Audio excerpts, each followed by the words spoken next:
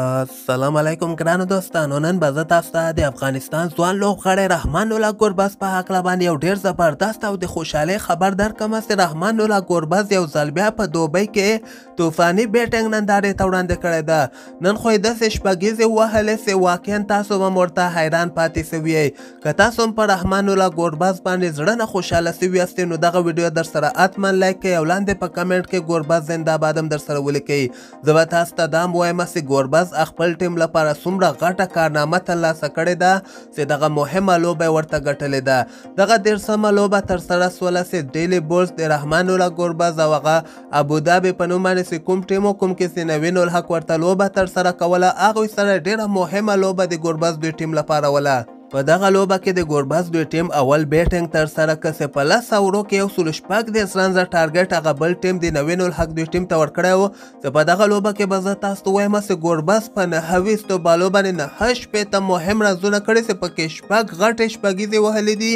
او همدغسې پنځه څلوریزې وهلې دي په دوه سوه اووه دېرش ټراک ریټ باندې ګوربز ورته لوبه ترسره کړې ده یعنې ډېره تېزه لوبه یې د خپل ټیم لپاره ترسره کړې ده ګوربز نه علاوه شیف رډر فورډ د ویسټ انډیز لوبغاړی د دم بیا ښه بیټنګ کړی دی یعنې دوه ویستو بالو باندې دو پنځوس سنزه کړي دي نو دغه یو سلو شپږ دېرش سنزه ټارګټ چې د ګوربز دوی ټیم ورکړی او د نوین الحق دوی ټیم ونه سه کولی چې دغه ټارګټ پوره کړي اول خو به زه تاسو ته د نوین الحق دغه بولنګ ته که موږ راسو په دوه اورو کې اته دېرش سنزه ورکړي دي چې نولس یې یو اور کې ورنه نولس رنزونه اخیستلي دي یعنې ډېر سخت سخت نوین الحق په دغه لوبه کې هم ټکولی ده او بل طرف ته د نوې نور حق دوی ټیم دغه لوبم یعنی نه د ګټلې دغه ټارګټ یو سل شپږ دېرش رنزه ټارګټ سي د ګوربز دوی ټیم ورکړی او دوی شپږ اتیا رنزه کړي دي او همدغسې ټول اوډونه بیا ختم سوي دي او په دغه لوبه کې فضل حق فاروقي یو کارنامه ترلاسه کړې ده چې هغه هغه اولینې اول کې خو لږ وټه کې دی یعنی یو اور کې ولس رنز ورکړ خو دغه دویم اور کې بیا فضل حق فاروقي میډن کړی دی یعنی یو رنز هم نه ده ورکړی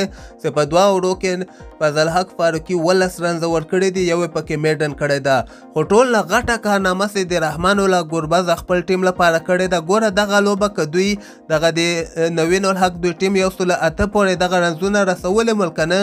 بیا د نوین الحق دوی ټیم هغه ګروپ سر ته رسیده خو د ګوربز زبردسته بیټنګ په وجه باندې دوی په نهه څلوېښت رنزو باندې دغه لوبه ګټلې ده او د ګور ګوربز دوی ټیم د ګروپ سر ته ختلې دي یعنی د دوی لپاره یو بل چانس هم ده سبا ته هم درې لوبې تر سره کیږي په دغه کې ګوربز دوی ټیم هغه وهاب ریاض نجیب زدران دوی ټیم چې کوم د هغوی سره مهمه لوبه ده که چیرته هغه لوبه ګوربز دوی ټیم وګټي نو ډایرکټ به فاینل ته کوالیفای کړي او که چیرته هغه لوبه ومبایلي نو د دوی لپاره یو بل چانس هم شته ده چې فاینل ته کوالیفای وکړي نو دومره غټه کارنامه ګوربز دغه تیرې هغه پرون لوبه کې ښه بیټنګ تر سره کړ او نن یو ځل بیا طوفاني بیټنګ نندارې ته وړاندې کړ واقعا د ګوربز په دغه په زړه پورې بیټنګ په وجه باندې به ډیر زیات نړیوال هم حیران پاتې سوي او آی پی ایل کې به هم ګوربز چانسز نور هم زیات سوي چې په ډیره قیمته بیه باندې حتما د آی پی ایل نظر به په ګوربز باندې خامخا چې په ډیره قیمته بیه باندې هر یو ټیم به هم دغه کوشش کوي چې ګوربز خپل ټیم کې واخلي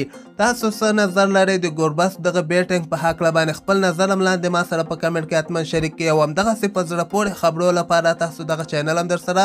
سبسکرایب کولی شئ